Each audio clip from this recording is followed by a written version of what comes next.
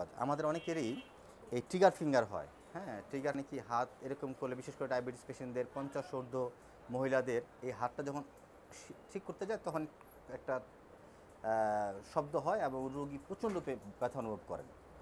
তো এই এই সকল ক্ষেত্রে আমরা অনেকেই ভুল করে গরম শেক দেই, বারবার আমরা হাতটা এরকম মুচড়াই, বারবার চেক করি ব্যথা আছে কি না এই কাজগুলো আমরা কখনোই করব না। আমার অনেক পেশেন্ট আছে, আলহামদুলিল্লাহ অনেক ভালো আছেন। আমি এই একটা বিষয় গুরুত্বপূর্ণ একটি ইনফরমেশন দেওয়ার জন্য আমি আজকে দাঁড়িয়েছি। সেটা হচ্ছে যে এই ট্রিগার ফিঙ্গারে আমরা কখনো কি করব না, আমরা বারবার চেক করব না। বারবার হাত এরকম করে খোলার চেষ্টা করব না যে ব্যথা আছে কিনা চেকও করব না দেখব না, আর বারবার এরকম ভাজও করব না। এটা হচ্ছে গুরুত্বপূর্ণ, আর গরম পানি শাক দিব না। যেহেতু এটা একটা ইনফ্লামেশন মূলত এখানে হয় কি, আমি একটু সেটা একটু বোঝাই আগে, যে এই সকল ক্ষেত্রে হয় যে এখানে যে আমাদের যে টেন্ডনটা আছে হ্যাঁ এই টেন্ডনটা ইনফ্লামেশন হয়। টেন্ডনের ইনফ্লামেশন হলে কি হয়, যে এখানে একটা নুডলসের মতো হয়। এখানে নুডলসটা হয় আর এখানে একটা পুলিশ পুলি আছে। এই পুলি এক পুলিশ সিস্টেম কাজ করে আমাদের বডির এই পুলিশ সিস্টেমে যখন আমরা হাতটা ভাঁজ করি, তখন এই নুডলসটা এখানে চলে আসে। চলে আসলে যখন আমি হাতটা সোজা করতে চাই, তখন এই ইনফ্লামেশনের কারণে এই পুলির মধ্যে গিয়ে আটকে যায়। তখন সোজা করতে চাইলে সোজা করতে ঢুকে না। ওই পুলির মধ্যে আটকে যায়, প্রচণ্ড ব্যথা করে সহজে এটা উপরে উঠতে চায় না। আর তখনই রোগী ব্যথা অনুভব করে। তো এইটা এই ইনফ্লামেশন যে লাল দিয়ে আমি চিহ্নিত করলাম, এই ইনফ্লামেশনকে যদি ভালো পুলিটাকে যদি ভালো করতে চাই, তাহলে এটা রেস্ট দিতে হবে। প্রায় অলমোস্ট একুশ দিন আমাকে হাতটাকে রেস্ট রাখতে হবে, কোনো মুভমেন্ট করা যাবে না, এবং সেই সেই অর্থে গরম পানি সেঁক দেওয়া যাবে না, কারণ গরম পানিতে আর ইনফ্লামেশন বাড়ায়।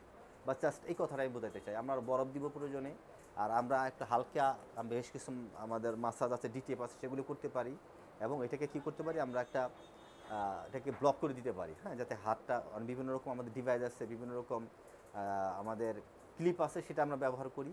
আর আমি বলব ঘরোয়া একটা টিপস দিব যে আপনার ঘরে যে কারেন্টের যে কালো টেপ আছে বা হলো যে কোনো টেপ দিয়ে এই আঙুলটাকে পেঁচিয়ে রাখবেন। যেমন আমরা এখানে যদি আমরা এই বারবার হয় কি রুগীর কোনোভাবে যদি একবার এরকম হাতটা ফ্লেকশন হয়, তখন এক্সটেন্ড করতে চাইলে সমস্যাটা হয়। তাহলে আমি ফ্লেকশন যাতে না হয়, সেটাই আমি যদি করতে পারি, তাহলে এটা আর ফ্রিকশন হবে না। পেন হবে না ইনফ্লামেশন কমে যাবে, এটাই হচ্ছে মূল বেসিক প্রিন্সিপাল তাই আমি বন্ধ করার জন্য কারেন্টে বিভিন্ন রকম টেপ ব্যবহার করতে পারি, আর আমরা যেটা করে থাকি, আমাদের চেম্বার পাবেন বা বিভিন্ন জায়গায় ওষুধের দোকানে পাবেন, এরকম একটা সাদা টেপ যদি আপনি, এরকম করে যদি আপনি পেঁচায় দেন, তাহলে কি হবে দেখেন, যে এখন এই ব্যক্তি যদি সে চায়ও, তাহলে হাতটা আর ফ্লেকশন হলো না। তো ফ্লেকশন না হলে আমার কি হবে না, আমার এই পুলিটা আটকাবে না জাস্ট এইটুকুই তাহলে এটা একটু এক ধরনের ক্লিপের মতো কাজ করে মানে ক্লিপ সব সব জায়গাতে পাওয়া যায় না মানে আনতে হয়, এরকম ক্লিপ সব সময় অ্যাভেলেবল পাওয়া যায় না। আমরাও দেখছি যে খুব একটা অ্যাভেলেবল না, এবং যথাযথভাবে যেভাবে চাই সেভাবে হয়ও না। তাহলে আপনি যখন গোসল করলেন অজু করলেন, তখন খুলে অজু করলেন, গোসল করলেন, পর আবার এটা লাগিয়ে দিতে পারলেন, আপনার ইচ্ছা মতো সেটা সম্ভব। তাহলে আমার মনে হয় আপনারা যারা এই সমস্যা ভুগতেছেন, আপনারা এটা অ্যাপ্লাই করতে পারেন, অনেক ভালো বেনিফিট পাবেন ইনশাল্লাহ আমি অনেক ভালো বেনিফিট পাচ্ছি। অনেক পেশেন্ট আলহামদুলিল্লাহ অনেক ভালো আছে আমাদের এখানে। হ্যাঁ আর আমাদের তো কাজের মান, আমাদের মহিলা রোগীদের জন্য, মহিলা ফিজিওথেরাপিস্ট ছেলেদের জন্য সেটা অসাধারণ ভালো কাজ করে এরা।